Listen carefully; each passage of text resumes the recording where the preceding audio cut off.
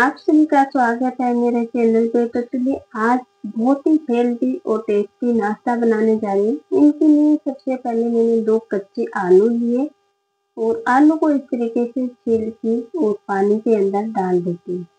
इस तरीके से आप नाश्ता ज़रूर बनाइए। जैसे एक पर आप बना लोगे तो पाँच सात दिन तक आप स्टोर करके इस नाश्ते को रख सकते हैं। जब भी आपकी मर्ज़ी होती है या आपको बच्चों को टिफ़िन में देना है तो आप इस नाश्ते को निकालिए और फ्राई करके या डीप फ्राई जैसे भी आपको पसंद है, उस हिसाब से आप बच्चों को कैरी करके दे सकते यहाँ मैंने दोनों आलू को कद्दूकस कर लिए और ठंडे पानी के अंदर डाल दिए और अच्छे से इसको दो तीन बार साफ़ पानी से धो लेते हैं। तो दो तीन बार धो के और पानी के अंदर ही रख देना है, नहीं तो इसका कलर चेंज हो जाता है तो पानी के अंदर रखते यहाँ मैंने एक कप पोहे लिए, कोई भी पोहे ले लीजिए, दो तीन बार साफ़ पानी से अच्छे से धो लिया है। और इस तरीके से पोहे को साइड में रखते यहाँ दो चम्मच बेसन ले रही हूँ। बेसन कोई भी आप बारीक या जो भी आपके पास है, वो ले सकते हैं। इसमें थोड़ा सा आप हल्दी पाउडर डाल लीजिए। बहुत ही अच्छा कलर आएगा। मैंने यहाँ हल्दी पाउडर नहीं डाला है। तो अच्छे से इसका पेस्ट बना के और इसके अंदर डाल दीजिए पोहे के अंदर। और पोहे को रख लीजिए 10 या 15 मिनट साइड में। इतने पोहे अच्छे से फूल जाएँगे। और अच्छे से सॉफ्ट भी हो जाते हैं। यहाँ एक पैन ले लीजिए, इसमें एक छोटी चम्मच मैंने तेल डाला है और इसमें आधी छोटी चम्मच जीरा डाला है और आधी छोटी चम्मच इसके अंदर व्हाइट तेल डाला है। एक बारीक कटा हुआ प्याज डाला है और इसको इस तरीके से फ्राई कर लेते हैं। इसमें दो तीन हरी मिर्च डाल दीजिए कट करके या आपके स्वाद के हिसाब से। जैसे किसी को कम पसंद होती है तीखा या किसी को ज़्यादा तीखा खाना है, उस हिसाब से आप हरी मिर्ची डालिए।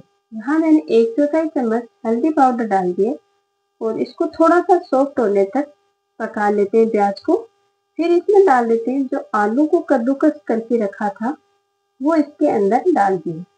प्याज को बहुत ज़्यादा उसका कलर चेंज नहीं करना था, हल्का सा सॉफ्ट करना यहाँ नॉर्मल इसमें मसाले डाल दिए, जैसे एक चौथाई चम्मच लाल मिर्ची पाउडर, नमक स्वाद के हिसाब से डालिए, एक छोटी चम्मच भुना हुआ जीरा, एक छोटी चम्मच चाट मसाला और इसमें डाल देती हूँ एक छोटी चम्मच अमचूर पाउडर। थोड़ा सा जैसे दो तीन मिनट आप आलू को सोख ले दीजिए फिर इसमें डाल दीजिए थोड़ा सा गरम मसाला डाला था। और एक छोटी चम्मच, बहुत ज़्यादा नहीं, एक छोटी चम्मच इसमें पानी डाला, क्योंकि मसाला नहीं जले इसलिए और फिर इसको दो तीन मिनट इस तरीके से पका लिए। आलू बहुत ही अच्छे से पक गए सॉफ्ट हो गए। अब इसको ठंडा कर लेते यहाँ चेक करते हैं कि अभी जैसे पोहे को हो गए दस पंद्रह मिनट पोहे अच्छे से सॉफ्ट हो गए। तो इसमें जो आपको पसंद है, वो आप डाल सकते हैं। जैसे मैंने नमक डाला है, दो लाल मिर्ची को कट करके डाला है। खूब सारा मैंने हरा धनिया डाला है। आप इसकी जगह जैसे हरी मिर्ची या हरा धनिया, जो भी आपको पसंद है, वो आप डाल के इस तरीके से अच्छे से आपको मसल की एक दो जैसा आपको लगा के तैयारी कर लेना है। इसमें कुछ नहीं करना है, पानी वगैरह कुछ नहीं डालना है वो। जैसे आपको ऐसे लगे कि बहुत ही ज़्यादा ये टाइट है, तब आप डालिए। मैंने हल्के से हाथों के तेल लगाया और इस तरीके से ये एकदम इकट्ठा करके एक जगह रख देती हूँ। ये देखिए, एकदम सॉफ्ट सा आटा लगा के तैयारी कर लिए और कोई भी एकदम सॉफ्ट हो जाता है तो बहुत ही आराम से आटा लगती तैयारी हो जाता है। तो चलिए अब आगे की तैयारी करते हैं। यहाँ छोटे से एक लोई ले लेते हैं। जैसे आप छोटा या बड़ा तो कितना बना सकते हैं। तो जैसे अपन आलू के परांठे बनाते वो भरते हैं, उस तरीके से, या कचौरी समझो कचौरी भरते उस तरीके से इसको भर लेना है।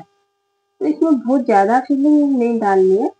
और छोटे छोटे बनाएँगे आप तो आप ये बना के टिकिया और फिर आप कोई भी एटाइट डब्बे के अंदर या टिफ़िन के अंदर किसी में भी आप स्टोर करके फ्रिज के अंदर रख सकते हैं। इस तरीके से इतनी तैयारी करके और फिर आपको जब भी डीप फ्राई करना है या बच्चों को देना है, तब आप गर्मा गर्म उसको फ्राई करके या सेलो फ्राई जो भी आपको जिस तरीके से पसंद है, उस तरीके से बच्चों को तैयारी करके दे सकते हैं। तो यहाँ जैसे मैंने रेड मिर्ची को कट करके डाला था उस जगह आप चिल्ली फ्लेक्स भी डाल सकते हैं या ऐसे भी आप बना सकते हैं। तो ये देखिए, बहुत ही अच्छा लग रहा है और बहुत ही अच्छा बना था। एकदम क्रिस्पी करारा ये नाश्ता बहुत ही अंदर से एकदम सॉफ्ट बनता है, ऊपर से एकदम क्रिस्पी करारा बनता है तो बहुत ही अच्छा लगता है। तो आपसे रिक्वेस्ट है कि अभी तक आपने वीडियो देखा तो मुझे बहुत अच्छा लगा, पर आगे भी आप इसी तरीके से मुझे सपोर्ट करते रहिए। और वीडियो अच्छा लगे तो वीडियो को लाइक शेयर कमेंट कीजिए। कोई भी आपको इसमें डाउट हो तो आप कमेंट करके मुझे पूछ सकते हैं। तो इस तरीके से देखिए आप इसको, जैसे अपन आलू के परांठे बनाते, वही तरीका है। इस तरीके से इसको ऊपर से बंद कर देना, जैसे नीचे से हाथ लगाइए ऊपर से इस तरीके से आपको बंद करके और हाथों में इस तरीके से आपको गोल घुमा लेना है। बहुत ही आसान तरीका है ये।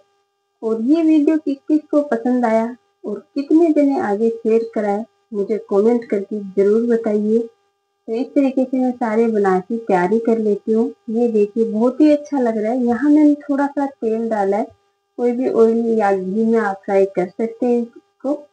तो ये देखिए, अब इसको एकदम स्लो फ्लेम पे या मीडियम आँच पे आप इसको फ्राई कर लीजिए। दोनों साइड से एकदम क्रिस्पी करारा होने तक या गोल्डन कलर आने तक आप इसको फ्राई कर लीजिए। बहुत ही अच्छा लगेगा ये नाश्ता। और मैंने नाश्ते के खूब सारे वीडियो डाल रखे है, वो भी आप जाके देखिए चेक करिए। बहुत ही अच्छा नाश्ता हेल्दी है और पोहे का नाश्ता सभी जानते हैं कि कितने हेल्दी और कितना अच्छा नाश्ता, बल्कि ये तैयारी होता है। तो इस तरीके से मैं इसको कर लेती हूँ। दोनों साइड से पलट के गोल्डन ब्राउन होने तक इसको फ्राई कर लेते हैं। तो ये देखिए, दोनों साइड से गोल्डन ब्राउन होने तक मैंने इसको फ्राई कर लिया। बहुत ही अच्छा नाश्ता सभी को बहुत ज़्यादा पसंद आया। तो चलिए, फिर मिलते हैं।